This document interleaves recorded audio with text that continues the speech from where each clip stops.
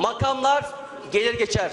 Adamlık, karakter kalıcıdır. AK Parti Grup Başkan Vekili Bülent Turan, CHP'li Abdülatif Şener'e işte bu sözlerle tepki gösterdi. Konya'da sokağa çıkamayan, sokakta yuhalanan birine cevap vermeye mecbur kalmaktan utanıyorum. Mecliste 2019 bütçe görüşmeleri sürerken CHP Konya Milletvekili Abdülatif Şener söz istedi. Hükümeti eleştiren Şener'e yanıt gecikmedi.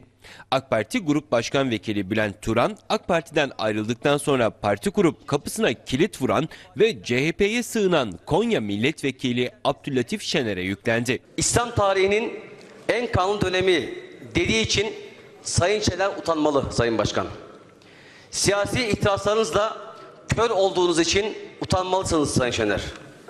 AK Parti'ye güya muhalefet edeceğim diye İslam tarihiyle kan ve benzeri ithamları beraber kullanmak zorunda kaldığı için utanmalısınız Sayın Şener. Bülent Turan, Şener'in CHP adına kürsüde dile getirdiği tüm iddialarını çürüttü. Sayın Başkan, o konuşmada Sayın Erdoğan BOP eski genel başkanıydı dedi Sayın Şener.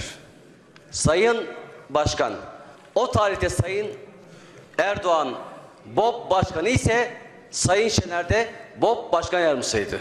AK Parti Grup Başkan Vekili Bülent Turan, Şener'i alkışlayan CHP'lilere de tepki gösterdi. Kendi planı bu partiye tutmayınca istifa edip en zıt partiye geçen kişinin yarın ilk fırsatta kendi yani CHP'yi de satacağını ve aynı ithamların benzerini CHP'nin yöneticilerine söyleyeceğinden kimse emin olamaz.